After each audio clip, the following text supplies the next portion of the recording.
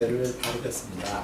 어, 이 중세는 그렇게 어, 두드러지는 이런 어, 문학 작품들은 어, 없지만 어, 중세가 끝나갈 무렵에 어, 재미있는 이런 작품들이 좀 쓰여집니다. 단테의 이런 신곡이나 어, 아니면 어, 데카메론 같은 이런 작품들이 쓰여지기 때문에 어, 그런 작품들을 어, 통해서 중세와 근대의 분위기의 차이를 어, 느껴보는 데 상당히 어, 유익하거든요. 어, 그래서 어, 먼저 어, 그 오늘은 중세에 관해서 조금 말씀을 드리고 다음 주에 이제 지금 여기 이 단테 1300년 무렵에 썼던 이 작품이 신곡이라는 이런 작품이 있습니다. 그래서 라 디비나 코메디아 이렇게 되어 있는데 디비나 이것은 디바인 영어의 신적인 그런 얘기고요. 그 다음에 코메디아 이것은 이제 우리가 전에 봤던 코메디 희극 이런 뜻인데 여기서 이 희극은 우리가 전에 고대에서 봤던 그런 희극이 웃음 내지는 비웃음을 통해서 이렇게 어떤 기존의 질서를 비판하고 넘어서고 한다.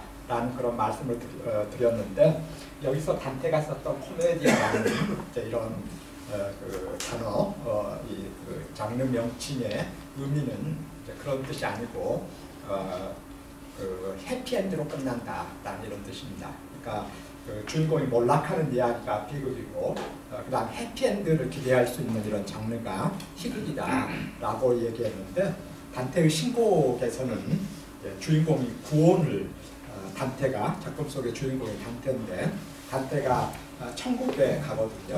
어, 네, 그런 의미에서 해피엔드로 끝나기 때문에 코미디라는 이런 어, 명칭을 붙였습니다. 그래서 라 이거는 그 정관사죠. 어, 이탈리아어로 그러니까 더 디바인 코미디 뭐 이런 뜻이겠습니다. 그러니까 신적인 그런 희극 이런 뜻입니다. 그 다음에 이제 또 비슷한 시기에 네, 이 시기 조반니 보카치오가 어, 쓴 데카메론이라 이런 작품이 있습니다. 데카메론. 어, 데카메론은 이제 어, 당시 1300년 무렵에 그이 보카치오가 살았던 피렌체에 전염병이 돌고 우리 인류 역사를 이렇게 그 돌아보면 끊임없이 그런 이 전염병, 이런 역병, 뭐 지금 코로나 같은 이런 것들이 반복됐었던 것 같아요. 어, 늘 이런 것들이 반복되고 또 새로운 변종들이 생기고 그래서 지금 코로나 같은 것은 어떤 지금까지 우리가 알지 못하는 그 병원균이 지금 이제 침투해가지고 온 인류가 지금 고통 속에 살고 있는데 근데 그 어떤 의사의 말을 들어보니까 코로나라는 이런 개념이 이미 의학 교과서에도 나온답니다. 어, 의학 교, 과서에도 나올 정도로 이렇게 새로운 개념은 아닌데 약간 변종이 발생한 것으로 그렇게 의사들은 보더라고요. 어, 근데 여기 보카치오 이때도 이제 전염병이 피렌체에 돌고 그래서 이제 에, 그 여자 일곱 그, 그, 그러니까 이한 20대 정도 됐을 법합니다. 어, 그 청, 청년 처녀들이 아, 처녀 7명, 청년 어, 3명이 어, 그 전염병을 피해서 어, 그 마을 뒷산으로 어, 가서 어, 그곳에서 밤이면 할 일이 없어서 뭐 밤에 뭐가 있겠습니까? 지금 같으면 뭐 유튜브도 듣고 그리고 뭐그 인터넷도 하고 재밌는 일들이 많이 있는데 그 당시에는 그런 것들이 없었을 테니까 밤이면 이 사람들이 할 일이 없으니까 그 열 명이서 모여서 어, 하루에 이제 그 자기들끼리 여자 일곱 명 어, 남자 세 명에서 어, 매일 왕을 뽑아서 그 사람을 이제 그날 이야기의 이제 주인공으로 삼아서 이제 그 왕으로 삼아서 오늘은 뭐 사랑에 대해서 이야기를 나눠보자. 그래서 돌아가면서 한 명씩 이야기를 합니다. 그 주제를 정해놓고 오늘은 뭐 예를 들면 뭐 인간의 욕심에 대해서 이야기를 해보자. 그러면 거기에 대해서 돌아가면서 열 명이서 이야기를 합니다. 그래서 이제 그 데카 아, 이것이 신이란 이런 뜻이고요 이탈리아어로 어, 그리고 이제 메론 메론은 어, 이야기라는 뜻이거든요. 그래서 10일간에 걸친 이야기입니다. 데카메론은. 그래서 매일 10명이서 하루에 10편, 한, 한 명이 한 편씩 하니까 하루 저녁에 10편, 10일간에 이제 100편. 그다음 제일 처음에 서러운 부분이 이제 한 편이 있고 그래서 어, 실제 이야기는 100편 어, 그리고 이제 그 서론 합쳐서 이제 101편의 이야기가 나오는데 이 이야기들이 이제 오늘 우리가 이 중세의 역사 예술을 훑어보면 알게 되겠지만 중세의 분위기와는 사뭇 다른 이런 느낌을 주는 이런 어, 현상들을 보여주거든요. 그래서 이제 중세 후기에서 르네상스로 넘어가는 이런 그 흐름, 징후를 보여준다라고 어, 보통 볼 수 있습니다. 그래서 전에 잠깐 말씀드렸듯이 어떤 시대든지 그 시대의 변화를 가장 먼저 이렇게 캐치해서 보여주는 이런 어, 사람들이 예술가들입니다. 예술가들. 예술가들이 이제 아무래도 그 어, 예민하고 센스티브하고 어, 그래서 시대의 변화를 잘 이렇게 캐치를 해주고 그다음 이제 그런 변화를 통해서 어떤 개념적인 사유를 하는 사람들이 대체적으로 철학자들이고 그렇습니다. 어느 시대든지 그런 것들을 볼 수 있는데 그래서 이제 다음 시간에는 단테 어, 그 다음에 조반지 보카치오 같은 이런 작품들을 어, 저, 통해서 중세의 분위기가 뭐였고 어, 그 다음에 이제 르네상스의 분위기가 뭐였는지 그런 말씀을 어, 드리려고 합니다. 어, 그리고 이제 그 다음에 이어서는 이제 본격적으로 소설로 들어가서 그저 어, 동키호테랄지 이런 그 근대의 문학 작품들을 어, 다루어 보려고 합니다. 어, 그래서 우리가 전에 어, 중세가 시작되는 고대가 끝나고 중세가 시작되는 점, 그 다음에 이제 중세가 끝나고 르네상스가 시작되는 점들을 어, 대, 어, 대충 어, 이 고대에서 중세로 이어지는 점을 500년 정도로 이렇게 봤고, 이제 중세에서 이제 그 근세 르네상스로 이어지는 점을 1500년 무렵으로 잡을 수 있고, 그리고 중세 천년이다라는 이런 말을 우리가 쓰는데, 그래서 500년에서 1500년 이 사이 중세 천년이다.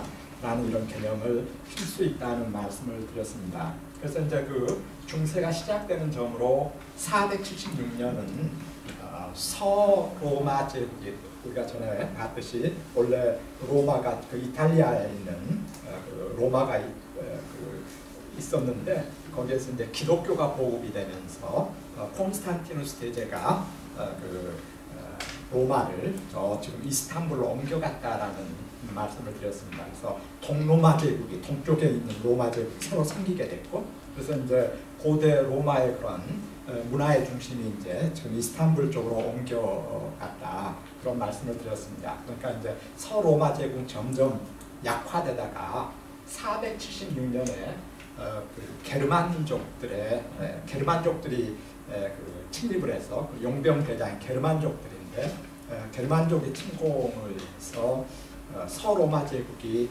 몰락하는 이런 사태가 아, 벌어집니다. 그래서 이제 서로마 제국이 그 기본적으로는 고대 그리스 로마의 적통인데 서로마 제국이 이제 어, 무너지는 이, 이 시점은 어, 고대가 끝나는 이런 시점으로 보통 볼 수 있겠고 그 다음에 이제 529년은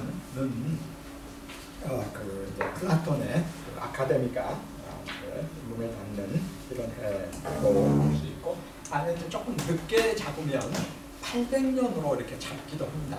800년은 어, 떤 시대였냐면 어, 지금 이제 프랑스와 독일, 그 다음에 이제 그 스위스, 그 다음에 이탈리아 이런 쪽이 어, 지금 그 지금 지금 이 그 지도로 보면 어, 프랑스와 그 독일 그 국경 지역에 국경 지역에 프랑크 제국이라고 있었습니다. 프랑크 제국. 그곳이 에, 나중에 이제 거기 에, 프랑크 제국이 무너지면서 그 일부가 프랑스가 됐고 그다음에 일부는 이제 에, 그 로마어를 쓰는 이제 이탈리아 아, 스위스 오스, 어, 이쪽이 됐고 그다음에 이제 어, 동쪽에 있는 부분은 지금 독일 오스트리아가 되는 그런 역사적인 변화를 거치는데 어, 그곳에 칼 대제가 있었습니다. 칼 대제가 있었는데 칼 대제가 당시 이제 그러니까 이 시점들은 유럽에 아주 그 속속 기독교가 보급되는 이런 시점입니다. 그래서 이제 칼 대제가 기독교의 보급에 이제 앞장서고 그래서 어, 당시 에, 로마에 있었던 교황청의 어, 네오 3세 교황께서 칼 대제를 로마 제국의 황제로 어, 그, 이, 저, 어, 봉인을 하는 어, 그 로마 제국의 황제로 임명을 하는 이런 사건이 벌어집니다.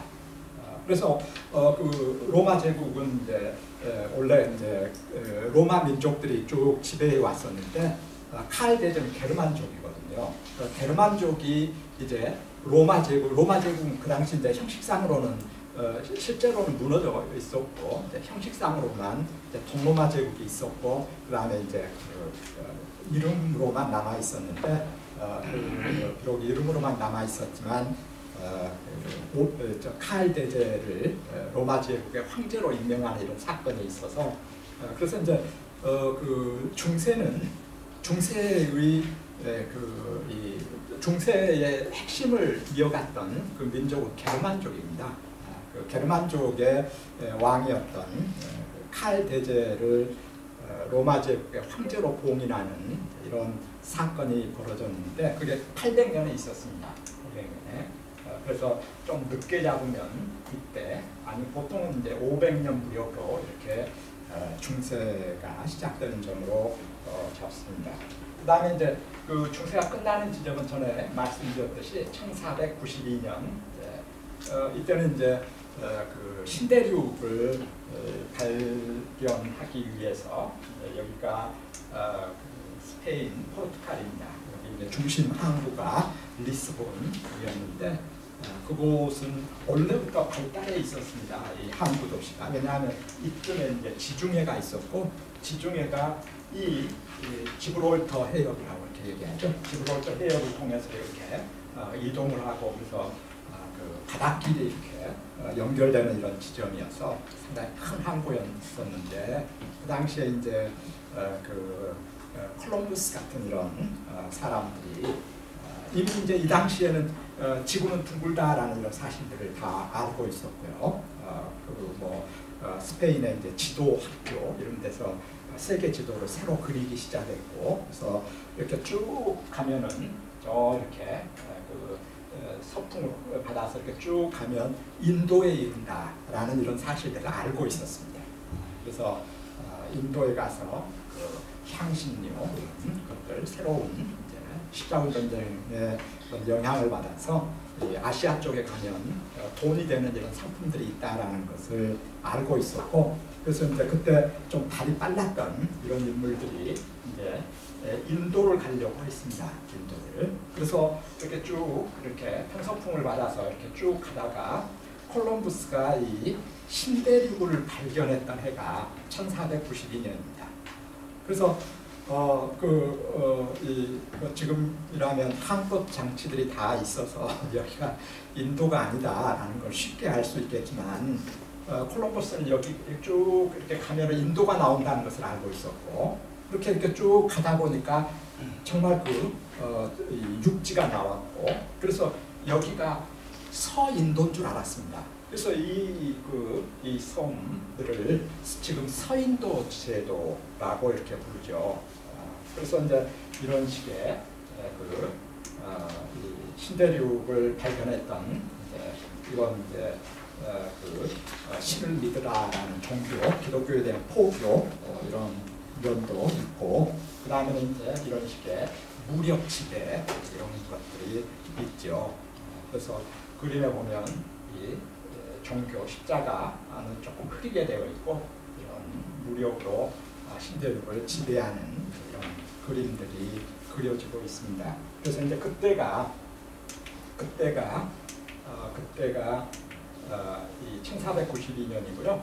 그 다음에 이제 1517년은 어, 어떤 해냐면 어, 루터가 종교 개혁을 했던 해입니다. 아, 종교 개혁. 그래서 이 루터의 어, 종교 개혁이 왜 이렇게 하나의 그 시대의 변화를 알릴 막 똑같은 기독교인데 똑같은 기독교인데 왜 그렇게 중요한지 어, 그것은 상당한 의미가 있습니다. 어, 루터가 종교개혁을 했던 해가 1517년인데 이것은 어, 루터의 종교개혁은 기본적으로 어, 그러니까 중세 카톨릭과 그 다음에 이제 그 개신교 어, 이, 이 차이점은 예, 그 차이점이 핵심이 어디에 있느냐면 개신교의 핵심은 신앙의 내면화에 있습니다. 교회에 가지 않더라도 교회에 가지 않더라도 우리가 내면에서 에반겔리움 복음을 받아들이면 천국에 갈 수 있다라는 이런 믿음들. 그리고 또 어, 현세에서의 직업을 신성시한다라는 이런. 그래서 독일어로 루터는 독일 사람이거든요. 그래서 어, 그 직업을 베루프라고 뭐 영어로는 잡 이렇게 말할 것 같은데 어, 뭐 제가 독일어를 동문학을 어, 전공을 해서 어, 꼭 이렇게 뭐 그 독일어가 우수하다 이런 말씀을 드리는 건 아니고 어, 보면은 영어는 상당히 실용적인 언어입니다. 실용적인데 독일어는 그 어원 하나하나에 굉장한 그 의미가 담겨 있습니다. 독일어로 직업을 베루프라고 얘기를 하는데 이것은 동사 베루펜이라는 이런 동사에서 나온 명사형입니다. 어, 이것은 무슨 뜻이냐면 어, 그 베루펜은 부르다 이런 뜻입니다. 부르다, 아, 부르다. 그러니까 신이 우리 인간을 어떤 일을 하도록 부르는 겁니다. 아, 너는 가서 어, 뭐 어, 선생을 해라. 어, 너는 가서 화가가 되어라. 이렇게 어떤 신이 이렇게 인간을 인간의 어떤 직업, 삶을 이렇게 예정을 해놓고 어, 예정 조화, 예정을 해놓고 직업도 이렇게 정해주고 그래서 어떤 그 천성적인 그런 어떤 소명, 소명 자신의 이런 생각을 하게 됐습니다. 그러니까 이 그 직업이 예, 직업이 단지 그 돈벌이의 뭐 이런 의미가 아니라 아, 이 어, 그, 그 독일의 오원에서는 신이 나에게 어떤 일을 하도록 어떤 일에 종사하도록 정해 놓으시고 그래서 나는 그 일에 아주 열심히 하는 것. 예, 아주 나의 그 그것 그러니까 천직이라는 이런 말이 있습니다. 천직. 신이 내려준 하늘이 내려준 나의 직업. 이런 말을 독일어로 베루프라는 이런 개념을 쓰는데 이것은 직업, 직업을 굉장히 신성시한 이런 표현입니다. 이제 이 1500년 이 무렵 되면은 그러니까 원래.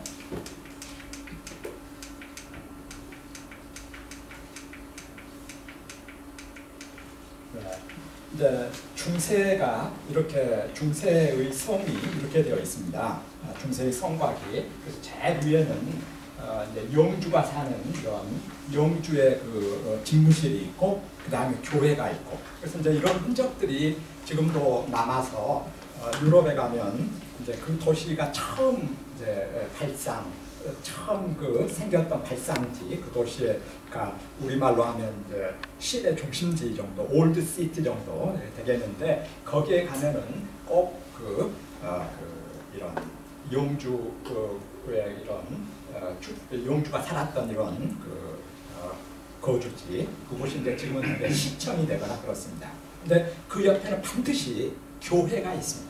성당이나 교회가 그래서 이제 그게 중세적인 유산이에요. 그게 이제 그런 중세에는 왕 귀족들 있고 그다음에 이제 그 어, 카톨릭의 이런 성당이 있고 그래서 중심지에는 꼭 이런 어, 두 시설들이 있습니다. 어, 고대에는 신전이 있었고 극장이 있었다라는 이야기를 했습니다. 신전과 극장. 그래서 신전에서 신을 모시고 그다음에 극장에서 어떤 어, 연극을 통해서 민족의 정체성을 확립하고 이런 과정들을 거쳤다 했는데 중세에서는 이제 그런 그 역할들을 종교가 대신하게 되는 것이죠. 그래서 이런 데 있고 그 다음에 이제 여기 지금 성이 있고 이 성 안에는 이제 귀족들이나 기사들이 살았습니다. 기사들이 그 다음에 이제 성 바깥에 이런 데는 농노들이 살았죠. 농노들이 그런데 이 농노들 가운데서 똑똑한 친구들이 예, 있습니다. 손재주가 아주 뛰어나고 어떤 수공업에 아주 그 낫이나 호미를 만드는 이런 기술이 뛰어난 이런 어, 친구들 어, 뭐 머리도 좋고 이런 친구들이 이제 그 중세의 통제가 조금 느슨해지는 중세 후기에 들어가면 이 사람들이 어, 그 용주에게 돈을 주고 이제 면천 과정을 겪는 것이죠. 그래서 이제 이 사람들이 이 영주가 다스리는 이런 성에서 벗어나서 자기들끼리 모여 살기 시작합니다. 그래서 그것을 전에 부르크라고 이렇게 부른다고 했죠. 부르크. 그다음에 이 프랑스에서는 bourg 이렇게 어, 부릅니다. 어, 그래서 그곳에 사는 사람을 Bürger라고 얘기를 했습니다. 독일어로 Bürger가 시민이라는 뜻입니다. 프랑스에서는 부르주아라는 이런 뜻이죠. 부르주아. 프랑스에서는 bourg라고 불렀고, 그래서 그곳에 사는 사람을 부르주아 이렇게 불렀고, 그래서 이 사람들이 원래 출신은 어, 왕이나 귀족이 아니고 어, 농노들 계층이지만 아주 그 머리가 좋고 어, 그 다음에 손재주가 뛰어나고 재능이 있고 그래서 자기들이 이제 어떤 그 수공업으로 물건들을 만들어내고 아직 산업혁명 전이니까 수공업으로 물건을 만들어내고 만든 물건들을 이제 조합을 설립을 해서 이제 예, 저, 어, 공동으로 이렇게 판매하고 해가지고 이 사람들이 재산을 모으고 그래서 이제 유럽에서 어, 이 시민이라고 했을 때 출발기적으로 이 출발기의 시민 계층의 두 가지의 핵심은 하나가 돈이고요. 그 다음에 또 하나가 교양입니다. 어, 교양. 그래서 이제 이 사람들은 어, 새로운 어떤 계층으로 어떤 새로운 사회를 이끌어가는 엘리트의 역할을 다 했던 것이죠. 돈만 밝히는 이런 어, 상스러운 사람들도 아니고 그래서 이 돈을 벌면 그것을 어떤 그 신이 나에게 천직으로 부여해준 직업이기 때문에 아주 극면하게 성실하게 거기서 자기 직업에 최대한 그런 어, 노력을 하고 그 다음에 거기서 부를 쌓으면 그것을 이제 자신과 자식들 이런 그 교육, 교양에 힘을 쏟고 그래서 그 독일, 어, 유럽의 그런 시민의 이런 문화들이 이렇게 이제 만들어지는 겁니다. 이 사람들은 기독교의 이런 가치들을 잘 지키면서 어떤 정직하고 사회의 엘리트로 이제 자라나는데 그래서 이제 이런 사람들의 세계관과 중세의 왕과 귀족들이 가졌던 이런 세계관은 다를 수밖에 없습니다. 그래서 이 새로 등장한 그 시민 계층의 삶에 맞는 이런 모델들, 즉 현세에서의 직업의 윤리 이런 것들을 어, 중요시하고 어, 그 다음에 이제 어, 현세에서 이런 삶을 어, 중요시하고 이건 카톨릭하고는 좀 다른 것이죠. 카톨릭에서는 현세의 삶이 아니라 최고의 행복은 죽은 다음에 오는 것이다 라고 생각을 했는데 네, 루터교에서는 어, 현세에서의 이런 삶도 중요하다라는 생각을 하게 되고 그래서 이제 어, 개신교 쪽의 목사님들은 결혼도 하게 되고 이런 과정들을 겪습니다. 그리고 이제 가장 중요한 것은 어, 어, 그 중세에서는 어, 이제 지금도 카톨릭 이런 쪽에서 이제 교국 이런 개념들을 써서 어, 교회 자체가 하나의 국가 같은 역할을 합니다. 그 왕이 예, 있고 그 다음에 마찬가지로 왕의 역할을 교황이 하는 것이죠. 그래서 교황이 이제 계시고 대주교, 주교 뭐 이렇게 온그 그, 그, 카톨릭의 이런 국가를 하나의 그 큰 조직체 속에 묶어두는데 어, 개신교 쪽에서는 그렇지 않습니다. 예, 개신교 쪽에서는 꼭 그렇게 교회에 가지 않더라도 내면에서 신을 믿, 믿 으면 구원에 어, 이룰 수 있다라는 이런 그러니까 시민 계층에 맞는 이런 종교를 루터가 만들었던 것이죠. 그렇게 본다면 1517년은 어, 중세와는 조금 중세의 카톨릭과는 조금 다른 이런 종교가 어, 등장한 계기가 됐다라고 볼 수 있습니다. 그래서 아까 말씀드렸듯이 어, 어느 시대든지 그 시대의 변화를 가장 잘 이렇게 보여줄 수 있는 그런 어, 자료들은 예술에서 있다. 그래서 그림을 한 장 보겠습니다. 어, 이런 그림. 이 그림만 봐서는 아마 그 차이점을 알기가 조금 힘드실 것 같아서 다른 그림하고 좀 비교를 해서 보겠습니다.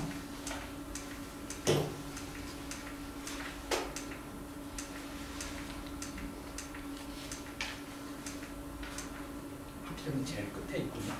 네, 지금 어, 왼쪽 이 그림하고요. 오른쪽 그림은 사실은 그, 그 주제는 같습니다. 그 주제, 주제는 그, 어, 그 독일어로는 그 라임 크리스티에서 예수님의 죽음을 애도하는 이런 어, 내용입니다. 어, 그러니까 예수님이 십자가에 못 박혀 죽으시고 그다음에 십자가에 내려져서 이제 그 무덤에 이제 그 모시기 직전의 그림입니다. 그래서 이 그림이 어, 중세 중기에 그려졌던 그림이고요. 그 다음에 어, 이 그림은 이제 중 1300년 무렵에 아까 예로 들었던 지오토 같은 이탈리아의 어, 이 무렵에 이제 르네상스로 이행해가는 이런 분위기를 아주 잘 보여주는 지오토의 그림입니다. 어, 통 우리나라에서는 그냥 어, 영어로 라멘테이션에서 어, 통곡 이렇게 번역을 하는데 어, 예수님의 죽음을 애도하는 이런 그림입니다. 혹시 그두 그림의 차이점들이 좀 분명하게 느껴지시나요? 어떤 차이점들이 좀 보입니까?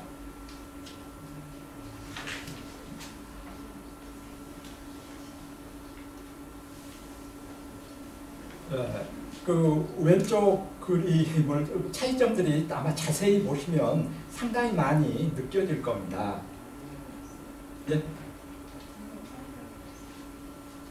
못 들었습니다. 크게 요새 크게 아, 성모 마리아 왼쪽에 있고 오른쪽에 마리아 성모 마리아가 없다. 그림은 인간의 슬픔을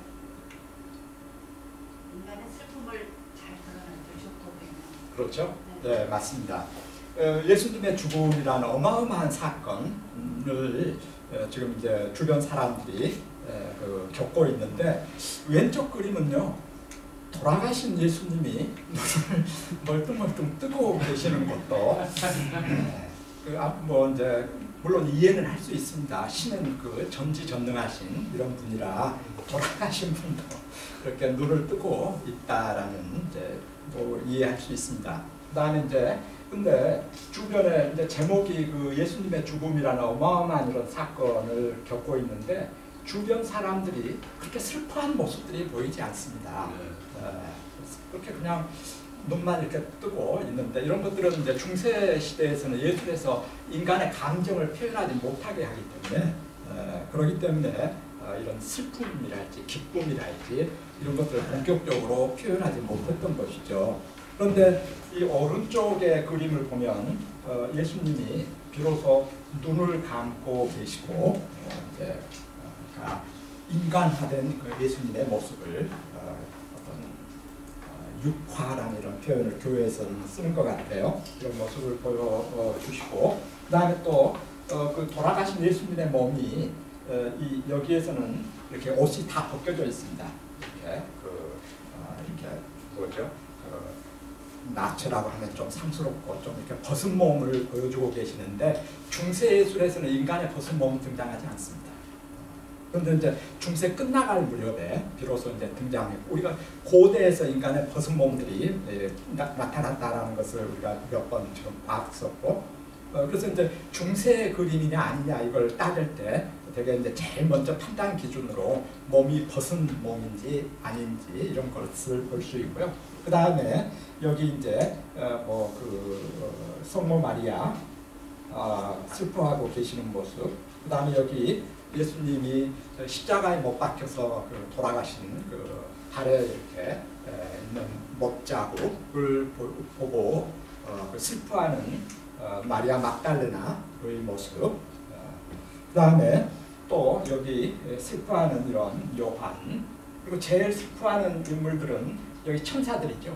이 천사는 슬퍼 미치겠다는 듯이 이렇게 몸을 이렇게 어, 꺾고 있고 하는 이런 모습들을 보여주고 있는데 이런 것들은 이미 이제 에, 중세적인 이런 분위기를 넘어서고 있다. 인간의 감정들을 풍부하게 표현하고 있다라는 이런 점들을 알 수 있고 그다음에 이런 벗은 몸들이 등장하고 있고 그러니까 어, 중세에서는 이제 그 예술들이 예를 들면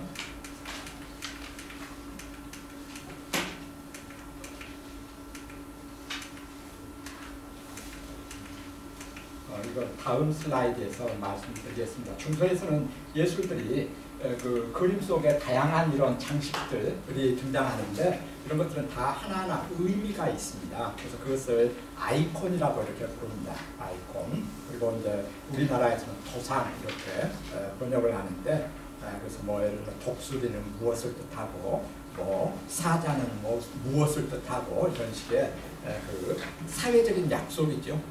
어, 사회적인 약속 이것을 이제 토상이라고 하고 그래서 그 그림을 분석하기 위해서는 토상을 잘 알아야 분석할 수 있는데 그래서 그것을 토상학 이렇게 에, 부르는데 어, 그, 어, 이 아까 우리가 지오토의 이 그림들 보면은 상당히 어, 그 리얼리즘에 가까운 사실적인 이런 그림들을 그리고 있다라는 거 이런 것들을 볼 수 있고 그래서 중세적인 그런 어떤 소재의 에, 그런 한계나 이런 것들을 많이 어, 그 극복하고 있다라는 그런 느낌을 줍니다.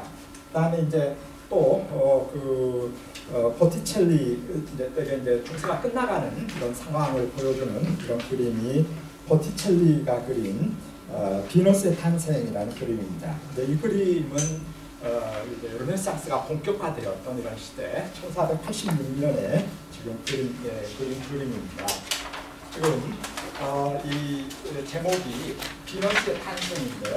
비너스는 예, 어느 시대든지 어, 대표적인 어떤 여성의 모습을 비너스라고 이렇게 불렀습니다. 전에 우리가 빈덴도르프라는 오스트리아의 조그마한 마을에서 출토된 여인상을 어, 그, 이 빈덴도르프의 비너스라고 이렇게 에, 불렀다고 말씀을 드렸고 그 다음에 밀레 섬에서 출토된 그런 여인의 이런 그 조각을 어, 밀레의 어, 밀로의 그 비너스라고 이렇게 부른다고 했는데 어떤 시대든지 대표적인 그 어, 여, 여자의 이름을 어, 여, 여인이 들어가 있는 이런 그림을 어, 비너스라는 이런 이름을 붙이는데 지금 이제 어, 보티첼리가 이런 그림을 그렸습니다. 이 그림을 그렸던 때가 아까 1486년 그러니까 이제 완전히 중세가 끝나가고 르네상스가 이제 본격화되었던 이런 시기입니다. 이, 시, 이 그림은 어떻게 해서 그려졌느냐 하면 당시 이제 어, 피렌체의 이제 그 부자 부자 집안 어, 그 어, 메디치 가문 이야기를 전에 말씀드렸습니다. 메디치 가문이 어, 그 십자군 전쟁의 이런 과정에서 페르시아 지역의 그런 약초 이런 것들을 어, 가져와서 그걸 이제 가공을 해서 어, 신약을 개발하고 그래서 유럽에 판매를 하고 그래서 거대한 부를 쌓았다. 그래서 그 메디치 가문의 이런 그 어, 건물을 보면 왕궁보다 훨씬 더 화려한 음, 그런 어떤 부의 세계가 무엇인지를 알 수 있는 그런 어, 집안이었습니다. 그러니까 이제 메디치 가문은 어, 이제 그, 어, 시민 계급 때 아직 그 자본주의는 아직 등장하기 이전인데 그 이전에 이제 거대한 자본을 축적한 이런 가문의 에, 그 로렌조라는 인물이 에, 자기 집에 에, 자기 집을 장식할 이런 그림으로 어, 보티첼리에게 이 그림을 주문한 것으로 이렇게 되어 있습니다. 어, 뭐 아직 지금 이 시기는 어, 본격적으로 어, 그 예술 시장이 열리기 에, 직전 이제, 조금만 지나면 이제 본격적으로 예술 시장이 열리게 되는 그런 과도기적인 이런 시기입니다. 그래서 어, 대체적으로 이제 어, 그림은 이제 어떤 귀족이나 아니면 부잣집에서 어, 그 예술가에게 돈을 주면서 주문해서 어, 제작을 하는 그래서 자기 집안의 그런 명예 이런 걸 어, 드러내기 위해서 어, 이제 그 로렌조가 어, 보티첼리에게 에, 부탁을 해서 에, 그렸던 이런 그림입니다. 그래서 이제 이 그림에 대한 이런 평가를 어, 가지고 지금 시대의 변화를 살펴보려고 하는데요. 어, 당시에 그 미술사학자 조르지오 바사리 같은 이런 인물이 있습니다. 어, 이 사람이 어, 르네상스 시대의 예술가라는 그 재미있는 책을 썼는데 어, 그때 어, 그 어, 조르지오 어, 바사리가 이 그림을 보고 어떤 이야기를 하냐면 공기와 바람을 타고, 지상에 도달하여 탄생한 비너스라는 이런 표현을 씁니다. 비너스. 어, 그러니까 에, 공기와 바람을 타고 어, 지상에 도달한 어, 비너스.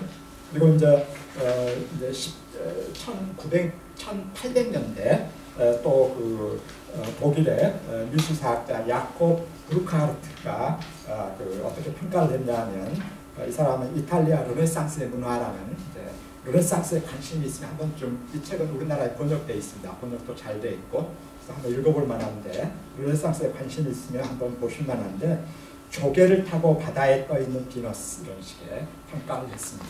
그래서 이제 이 그림이 어, 왜 우리에게 에, 중요한지 그걸 말씀을 드리면 어, 비너스는요 어, 이 어, 로마의 에, 그 위의 여신이고 어, 저기 그리스에서는 어, 비너스에 해당하는 인물이 아프로디테입니다. 아프로디테.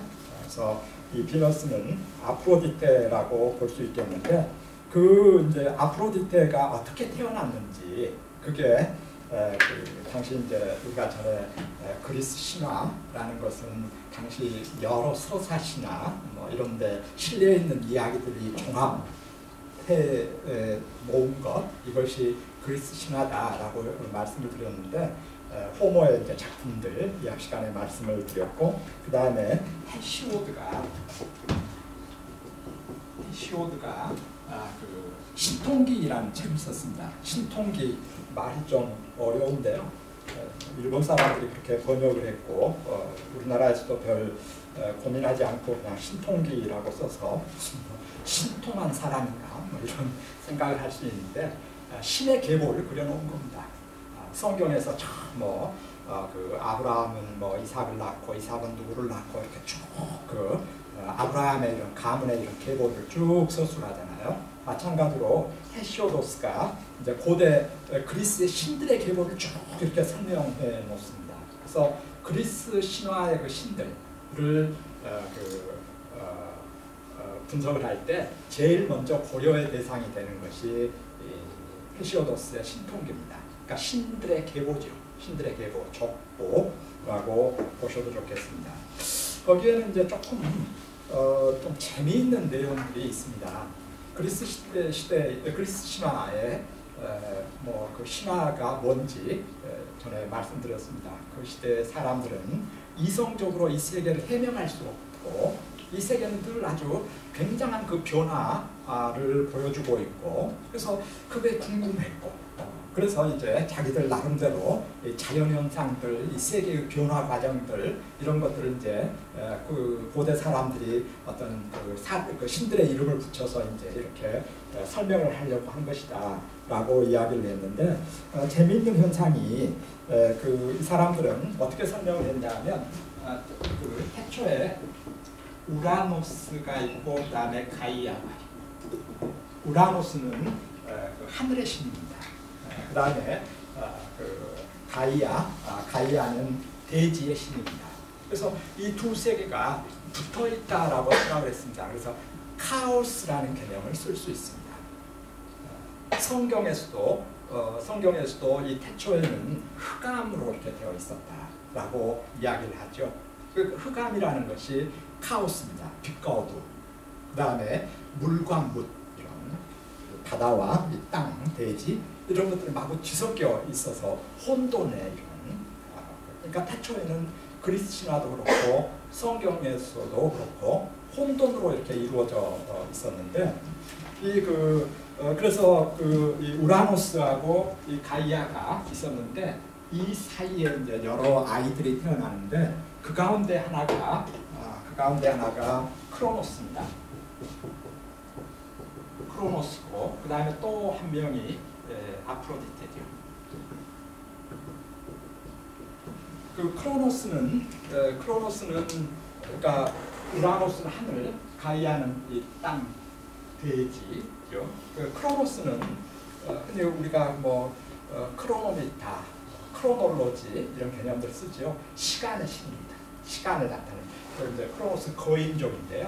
어, 그래서 어, 아직 그 이제 그 본격적인 올림포스의 신들이 이제 등장하기 전이고 그래서 이제 크로노스가 죽고 나서 그 밑에서 제우스가 생기고 여기서부터 본격적인 평화의 시대가 열리는 것으로 이렇게 되어 있는데 그 어, 크로노스가 어, 이제 아버지의 그러니까 우라노스의 어, 그 남성 그 부분을 어, 낫으로 이렇게 잘라서 어, 그 우라노스가 이제 저 어, 이 유폐되고 어, 그 다음에 이제 그 어, 우라노스의 그 남성 부분에서 어, 그 나온 피와 정액이 바닷물과 만나서 아프로디테가 만들어졌다라고 생각을 합니다. 이제 이런 것들은 어, 중세 기독교에서 설명하는 인간의 탄생과는 사뭇 다릅니다.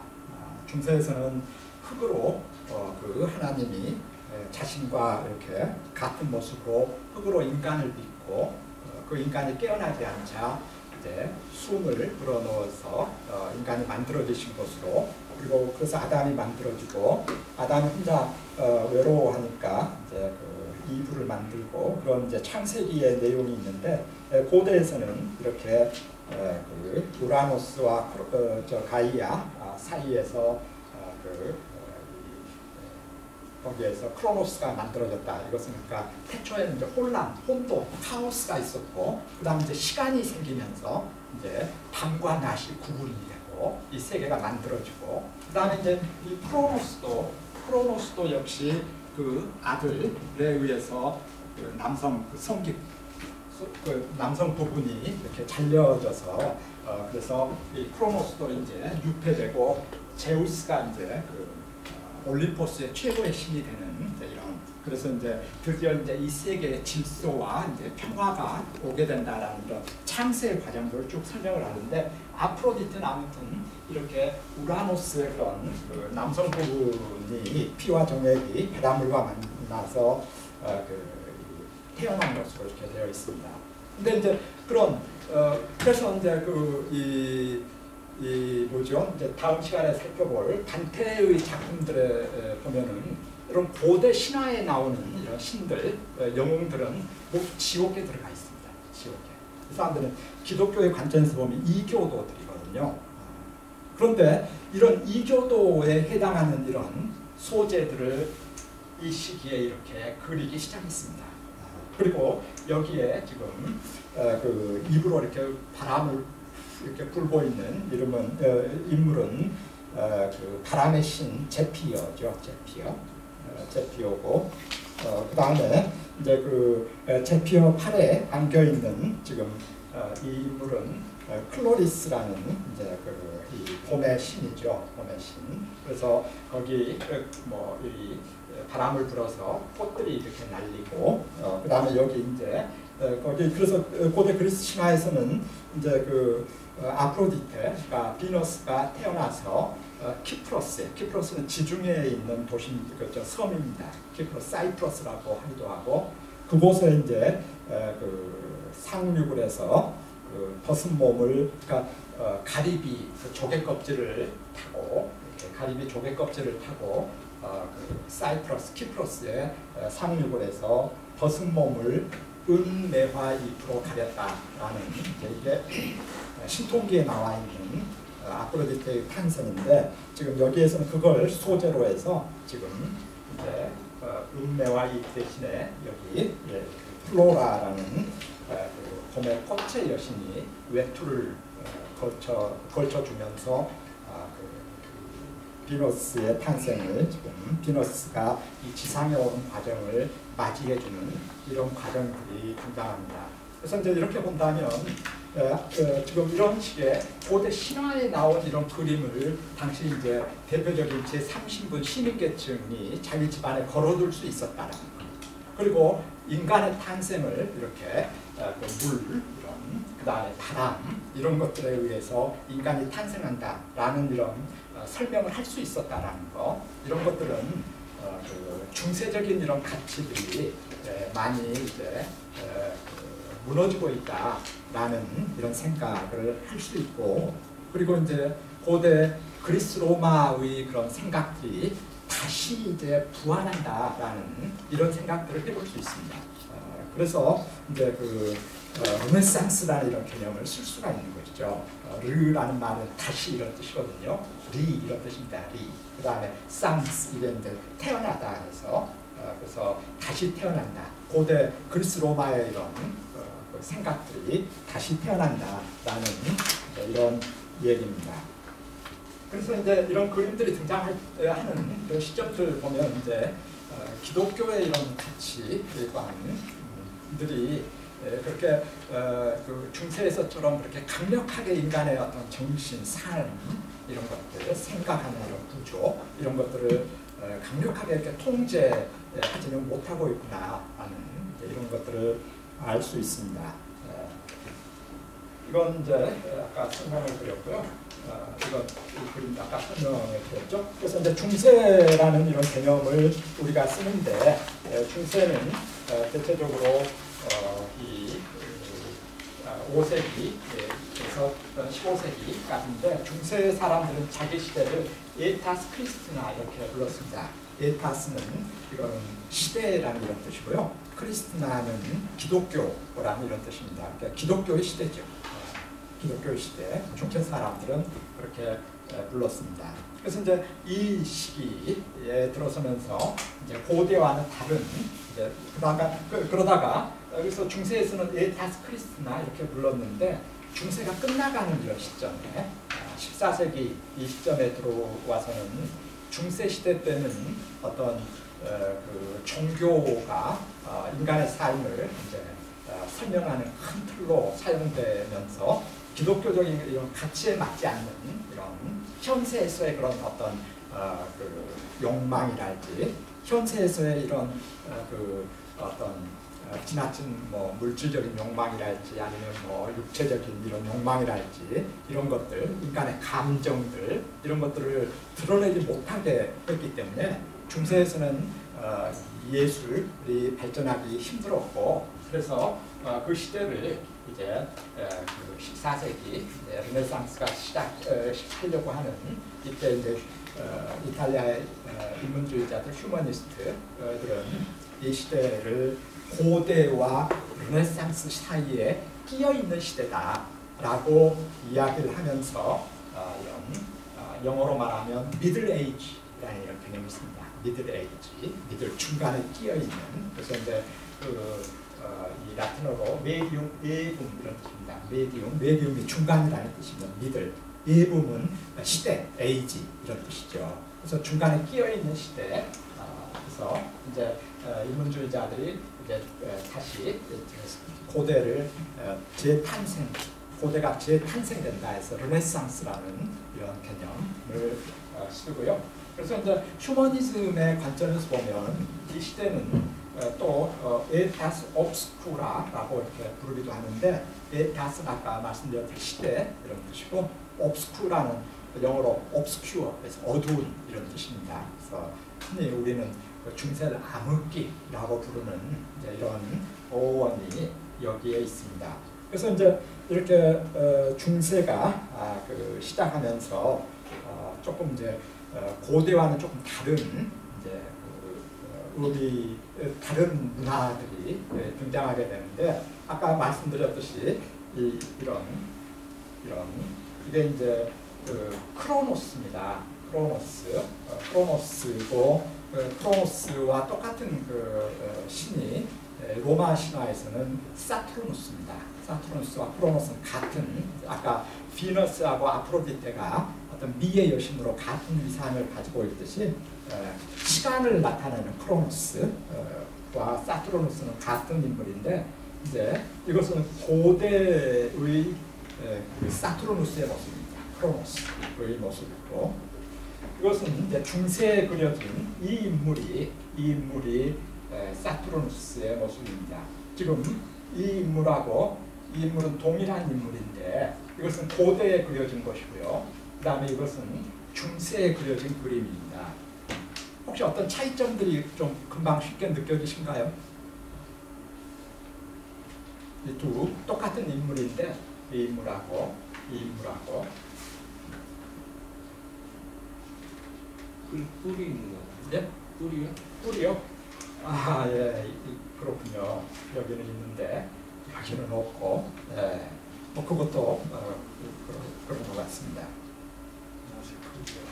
예, 낫의 크기가 아, 이 예, 고대에 그려진 이 그림에는 낫의 그 손잡이가 짧습니다. 근데 여기 이 이것은 손잡이가 큽니다. 이것은 무엇을 의미하냐면 그 이 크로노스를 장식하는 대표적인 그이 그 어, 그러니까 이낮 이런 것들이 사실은 도상입니다. 도상 아, 그 아이콘 그게 이제 다 의미가 있어요. 어, 중세에서는 그래서 중세 그림을 분석을 하려면 그 도상을 어, 알지 않, 알지 못하면 그림을 분석하기가 힘듭니다. 그래서 이제 이런 낫이 도상인데 이 낫은 어디에서 나온 거냐 하면 크로노스가 자기 아버지 그, 그 남성 그 부분을 때 썼던 이런 도상입니다. 네, 그리고 크로노스 자신도 자기 아들 제우스에 의해서 그, 곧, 에, 그 남성 그 부분이 잘려서 역시 그 어, 유폐되는 그래서 그 아버지의 그 부분을 잘랐던 이런 칼이기도 하고 또 하나는 어, 이 크로노스나 어, 이저 어, 사투르누스가 어, 이 들고 있는 이 칼은 포도를 자르는 이런 칼이기도 합니다. 농기구로서의 이런 칼이기도 합니다. 그러니까 그렇게 손잡이가 그렇게 길 필요가 없이 그냥 이렇게 조그만 걸로도 이렇게 포도를 자를 수 있었고 그렇습니다.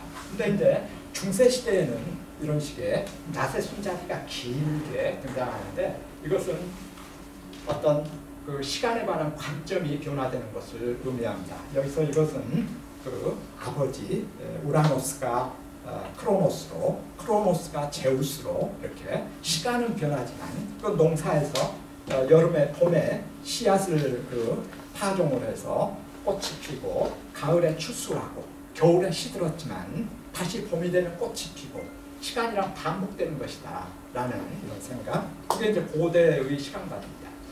그런데 중세에서부터 시작을 해서 근대에 이 르기까지 시간이라는 것은 그렇게 생각하지 않고 시간이라는 것은 그 시간이 흘러, 흘러가면 살아있는 것들이 죽게 되고 어, 그 감춰두었던 비밀이 폭로되고 그래서 가차없이 잘라버리는 이제 이런 의미에서 손잡이가 큰, 큰 크게 나타나는데 이 크로노스를 그리는 이런 이미지에서 대표적인 이런 긴 날, 이런 것이죠. 긴 날. 이런 것들은 시간 앞에 장사 없다라는 말 쓰잖아요. 시간이 흐르면서 어, 그 어, 아름다웠던 것들이 추해지고 어, 그리고 살아있던 것들이 죽게 되고 그리고 비밀들 감춰두었던 비밀들이 폭로되고 어떤 어, 시간의 덧없음 그리고 한 번 그리고 이제 이때 어, 시간이라는 것은 그 쏜 화살과 같아서 한 번 흘러가면 한 번 지나가면 되돌아오지 않는다 라는 이런 생각들을 하게 됩니다.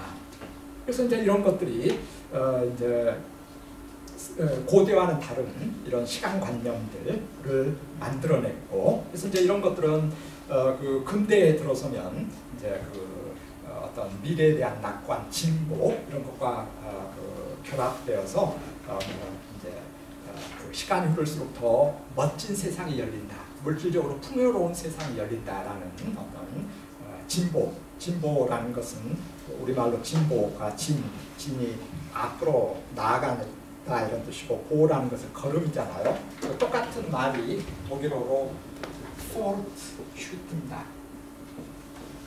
Fortschritt, fort가 앞으로 이런 뜻이에요. 진. 그 다음에 Schritt는 걸어가는 겁니다. schreiten에서 뚜벅뚜벅 걸어가다 해서 진보라는 개념이 1800년 어, 무렵에 새로 만들어집니다. 아, 새로. 그 다음에 이제 그 어, 이, 이 revolution 이제 이런 개념들이 새로 만들어지는데 revolution은 어, 영어로 revolve에서 나온 거죠. revolve. revolve는 원래 회전하다 이런 뜻입니다. 회전하다. 아, 그왜 어, 그 총에 관심이 계시면 어, 여러 어, 어, 선생님들 계시면 리볼버 권총이라고 있잖아요. 총 쏘면 이렇게 빙빙 돌아가면서 한 방씩 나가는 거 revolve가 그런 뜻입니다. 원래는. 그런데 이 시기에 들어서면서 revolve에서 나온 명사가 revolution인데 그래서 revolution은 회전 뭐 이런 뜻이야 되는데 이 시기에 들어서면서 revolution이 이제 어, 혁명이라는 개념 어, 의미가 바뀌기 시작합니다. 근본적으로 새롭게 바꿔나간다. 시간이 흐르면서 이런 것은 이제 근대인들 특유의 어떤 미래에 대한 낙관 이런 것들을 보여주는 것으로 볼 수 있겠습니다. 어, 그래서 이제 그런 이제 시간, 이제 고대 우리가 가지고 있었던 그런 농사를 주로 했던 이런 시대에 그 어, 아버지가 아들에 의해서 거세되고 또 아들이 그 아들에 의해서 거세되고 어, 이런 것들 농사에서 이제 봄, 여름, 가을, 겨울 이렇게 수많은 시간으로 봤던 것이라면 이렇게 달라지기 시작합니다. 그래서 이제 이 시기에 이렇게 어, 시간 개념들이 이제 시간이란 쭉 흘러가는 것이다. 그래서 이 세계의 역사라는 것은 신이 성경이 어, 인간의 사유에 이제 중심으로 들어서게 되면서 이 세계의 역사라는 것은 신이 이 세상을 만들어서 다시 그 어, 산자 죽은 자를 심판하러 오실 때까지 이때가 이제 시간이라는 거. 그리고 그 시간은 갔다가 되돌아오지 않는다라는 거. 이런 생각들을 이제 이 시기에 사람들이 하게 되고 그래서 이제 정말 어, 이런 생각들을 하게 되고 어, 그래서 이제 어, 성경의 창세기 세계가 시간에 따라서 어떻게 만들어지는지 이런 이제 그런 영향들을 받게 되고 그래서 이제 그, 어, 그 중세 어, 중기에 에, 되면 이런 식의 이제 톱니장치에 의해서 만들어지는 이런 시계들이 등장하게 되고 그 다음에 뭐 지금도 혹시 유럽에 가보신 어, 분들 계시면 그, 어, 성당이나 아니면 이 광장에 종탑이 에, 있고 이제 그곳에서 시간을 알리는 이런 것들 또 이제 성경에서는 아, 그 카톨릭에서는 어, 그 시도라는 걸 하- 합니다. 어떤 시간에 맞춰서 기도를 하게 되는데 그런 어, 영향들이 보여주는 것이죠. 그런 영향들을 보여주는 것이죠. 그래서 이제 이때 아우구스티누스 같은 이런 인물들, 이런 인물들이 대표적인 교부들입니다. 교부 철학자들. 교- 조금 이따 더 설명드리겠습니다. 스콜라 철학, 교부 철학에 대해서는 조금 이따 더 설명을 드리겠는데, 그래서 이제 아우구스티누스 같은 이런 인물은 어, 자기가 어떻게 카톨릭을 믿게 되었는지 이런 것을 고백록에서 밝히면서 이제 그 기독교의 교리에 맞게 이제 그, 어, 고대적인 이런 생각들과 어, 그, 이 카톨릭의 이런 교리들을 결합을 시켜서 이제 어, 그, 어, 이제 새로운 그런 그 카톨릭의 그런 그 이념들을 만들어내는데 어, 그래서 시간이란 어, 쏜살같이 흘러간다라는 한번 흘러간 시간은 다시는 등장, 다시는 돌아오지 않는다라는 이런 유명한 말들을 남기고 그렇습니다.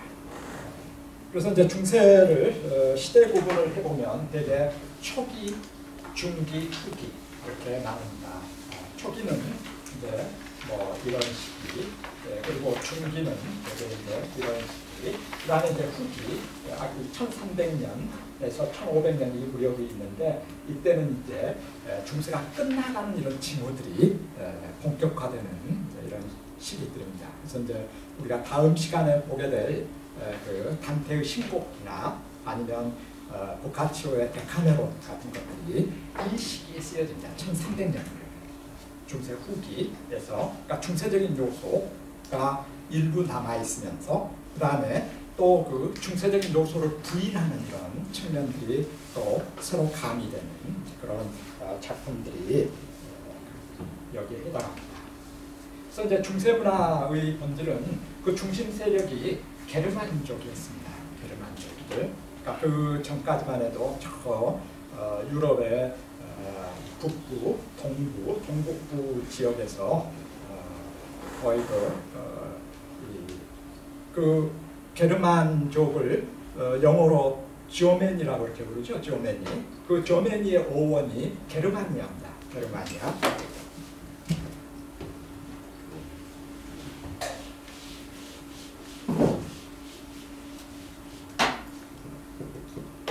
게르마니아인데 이 게르마니아가 이제 그 어원이 돼서 조메니가 된 건데 혹시 게르마니아의 어원이 그 의미가 뭔지 아, 아시는 분 계십니까? 예. 당신의 이름 아닌가요? 예, 여신의 이름이긴 합니다. 예, 근데 그 의미가 예, 그 이제 예, 이 유럽을 유럽을 좀 그려보면 그리지만 또 항시 그렇게 쉽지가 않고 여기가 영국이 있고 여기가 이제 이탈리아 로마가 있습니다. 그다음에 여기 이제 우리가 그동안 쭉 살펴봤던 그리스가 있습니다. 어, 그래서 이제 이 로마의 시저가 시저가 여러 곳을 정벌을 하는데 제일 먼저 이 갈리아 지만 갈리아는 지금 프랑스 남쪽입니다. 그래서 프- 프랑스에서는 어, 골이라고 부릅니다. 드골 할때 de de, de가 of 이런 뜻이거든요. 골은 이제 갈리아 그러니까 어, 그 어, 영어에서도 뭐 어, 어디 출신의 누구 어, 뭐 서울 출신의 김기룡에서 뭐 김기룡 of 서울 이런 식으로 불렀거든요. 그래서 드골 할 때 드골이 그 갈리아의 어, 뭐 이름 앞에 이름이 있겠죠. 그래서 갈리아를 정벌을 하고 여기에 지금 어, 여기에 지금 독일이 있습니다. 독일 이- 이 지역을 정복을 못했습니다. 예, 갈리아를 정복을 하고 영국까지 침공을 하면서 이 지역을 정복을 정복을 못했는데 이곳이 지금 라인강입니다. 라인강. 그 다음에 여기가 이제 에, 도나우강이죠. 헝가리로 가면 에, 다뉴브 강이 되고 그렇습니다. 근데 왜 이 지역 지금 독일 쪽을 정복을 못했냐 하면 그 당시 로마 당시 그 역사사가 타키투스라고 있었는데 타키투스가 쓴 역사책 이름이 게르마니아입니다.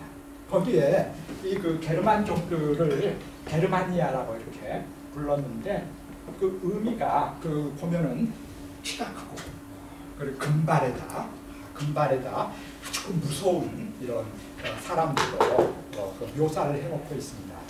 또 당시 이제 그 시기 에, 그 시저가 살았던 기원전 이제 이 시기를 기준으로 해서 보면 로마는 당시 세계 최고의 문명 국가였습니다. 최고의 문명 국가였는데 저 게르만족들은 이런 짐승들처럼 벗은 몸으로 막 뛰어놀고 막 하는 아주 그 그래서 왜 우리도 저 중국 사람들 떼놈이라고 이렇게 부르고 일본 사람들 뭐 외놈이라고 이렇게 부르듯이 상당히 그 깔보는 이런 식의 에, 개념이었습니다. 그래서 이제 에, 고대에서는 이 게르만족들은 이제 이런 데 살다가 여기 이제 이쪽으로 가면 덴마크가 있고 그런데 이런데 원래는 저 북쪽에 살다가 이쪽으로 내려와서 살고 있었습니다.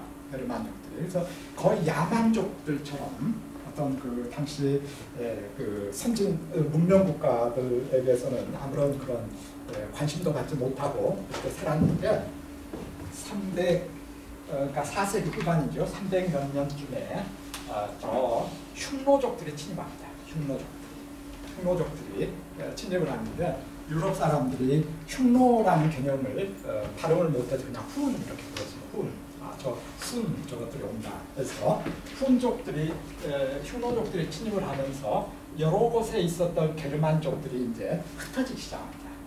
흩어지기 시작해서 일부는 지금 영국으로 가서 그 게르만족들의 그 여러 부족들이 있는데 작센족이 있고 어, 그 다음에 앙헬족이 있고 그런데 그래서 그 어, 영국을 앵글로색슨이라고 부르는데 그 게르만족들이 거기 가고 그 다음에 또 고트족들은 이렇게 이런 지역으로 이렇게 흩어지고 그래서 그 게르만족의 일부가 이 로마를 정복을 하게 된 겁니다. 그래서 이제 그 로마 중심의 이런 국가 아, 문명에서 게르만 문화로 어, 바뀌게 되고요. 어, 그 다음에 이제 어, 종교로는 기독교가 카톨릭이 예, 지배를 하게 되고요. 그 다음에 이제 어, 그 어, 사회 경제 체제의 핵심은 봉건제입니다. 봉건제. 네, 봉건제는 조금 이따 어, 그 말씀을 드리겠습니다. 그래서 이제 중세 초기에는 중세 초기에는 어, 지금 터키 쪽에 동로마 제국 그곳을 당시에는 비잔틴으로 불렀었는데 그곳이 이제 중세 초기의 문화적인 중심지입니다. 그래서 이제 비잔틴 이런 어, 그곳은 이제 동로마 제국을 어, 비잔틴 제국 이렇게 부르고요. 이제 그곳에 어, 특히 이제 아랍 출신의 그런 고대어에 능했던 이런 어, 학자들이 이제 수도원에 이제 들어가서 고대 문헌들을 연구하게 되고 하는 그런 이야기들은 전에 말씀드렸습니다. 이것은 이제 그냥 시간도 없고 해서 그냥 넘어가겠습니다. 이제 중세는 이제 이런 식의 그 왕 어떤 세속적인 권력과 그 위에 십자가 종교적인 권력이 이렇게 어, 그 결합되어 있는 이런 어, 시대가 어, 중세였습니다. 이것은 이제 어, 신성 로마 제국의 지도입니다. 신성 로마 제국은 지금 이렇게 여기 예, 검정색 테두리가 아, 신성 로마 제국인데 신성 신성 로마 제국의 중심 국가는 합스부르크입니다. 여기 예, 지금 오스트리아 있는 이, 이 노란색 여기가 합스부르크인데 이 오스트리아 비 여기가 아, 합스부르크 그러니까 신성 로마 제국 황제는 이렇게 합스부르크 왕조에서 쭉 어, 내려왔습니다. 그래서 이제 어, 그, 그래서 신성 로마 제국은 어, 명칭이 독일 민족의 신성 로마 제국입니다. 독일 민족의 신성 로마 제국. 그래서 신성 로마 제국은 그 핵심이 어, 게르만 족이었습니다. 아, 그래서 이, 이- 저 이탈리아 북부 토스카나 지역까지 이렇게 차지했죠. 그래서 이제 그 공검제가 이제 그 중세의 문화적인 사회, 사회 경제적인 그런 축제였는데 어, 공검제는 기본적으로 그러니까 이제 어, 계약이란 개념, 어, 우리나라에서는 계약이라는 그런 관념들이 많이 뭐 최근에 와서는 이제 계약이 우리나라에서도 보편화되었는데 서양에서는 이제 이때부터 계약이라는 이런 그 관념이 네, 아주 발달합니다. 네, 공검제의 핵심은 계약 관계입니다. 계약. 어, 그 어, 계약은 누구와 누구 사이에 계약이냐 하면 왕과 기사들 사이에 계약입니다. 왕이 기사들에게 땅을 나누어주고 그것을 은대지 수역, 봉토 뭐 이렇게 부르죠. 어, 대신에 기사들은 그 왕을 위해서 그 군사적인 봉사를 하는 이제 이런 계약 관계입니다.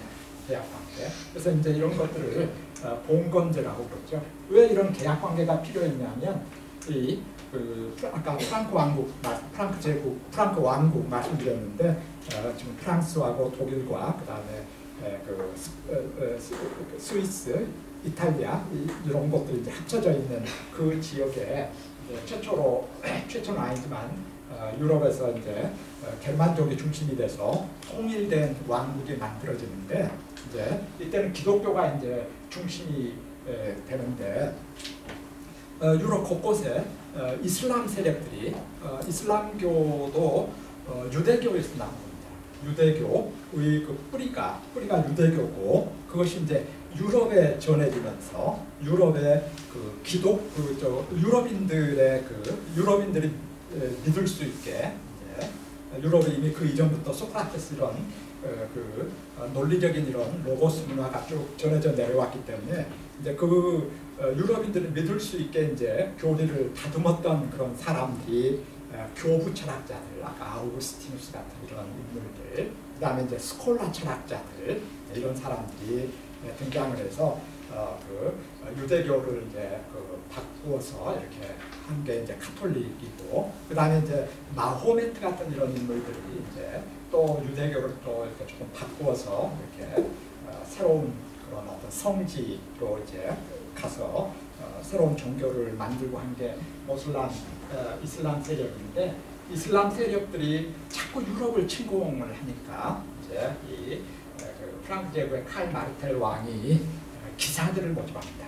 기사들을 모집해서 저 어, 이슬람 어, 저 어, 우리를 침공하는 이슬람 전석들 어, 물리칠 수 있는 이런 직업군인이죠 직업군 직업군인을 모집을 하고 그 대가로 이렇게 죽음과 종신 사이에 이런 계약 관계를 만, 형성하게 되는데 이게 봉건제의 기본 토대입니다. 그래서 이제 이런 사회이기 때문에 저 죽음이 있고 그 다음에 기사가 있고 이런 사회 모든 곳에 이렇게 어, 위계관계가 이렇게 철저하게 에, 자리 잡은 이런 어, 그다음에 이것은 지금 뉴른베르크의 이제 개념도입니다. 옛날 중세는 이런 사회를 가졌을 것으로 생각을 합니다. 중세 중기로 들어가려면 좀 쉬었다 했습니다.